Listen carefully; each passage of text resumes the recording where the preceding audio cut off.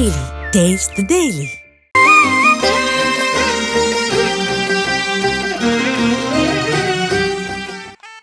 காஞ்சிபுரம் காமாட்சியம்மன் கோவிலில் நவராத்திரி விழாவை முன்னிட்டு சூரனை வதம் செய்யும் காட்சி அரங்கேற்றம் நிகழ்த்தப்பட்டது. நவராத்திரி விழாவின் முதல் நாளில் காமாட்சியம்மன் அரக்கு நிற பட்டாடை உடுத்தி கண்கவர் அலங்காரங்களுடன் லட்சுமி சரஸ்வதியுடன் வசந்த மண்டபத்தில் வைக்கப்பட்ட குழுவிற்கு நடுவில் எழுந்தருளினார். அதனைத் தொடர்ந்து வேத பாராயணம் சங்கீத உபச்சாரம் முடிந்து மகிஷாசூரனை வதம் செய்யும் காட்சி நிகழ்த்தப்பட்டது.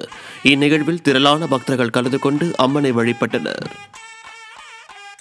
திருச்சி சமயபுரம் மாரியம்மன் கோவிலில் நவராத்திரி விழாவின் முதல் நாளில் குமாரிக்கா அலங்காரத்தில் எழுந்தருளிய மாரியம்மன் கோவில் உள்பிரகாரங்களில் உலா வந்து பக்தர்களுக்கு காட்சியளித்தார். மேலும் கோவிலில் வைக்கப்பட்டுள்ள எண்பதுக்கும் மேற்பட்ட நவராத்திரி கொலு பொம்மைகளுக்கும் சிறப்பு பூஜைகள் நடைபெற்றன. இதில் திரளான பக்தர்கள் கலந்து கொண்டு அம்மனை தரிசனம் செய்தனர்.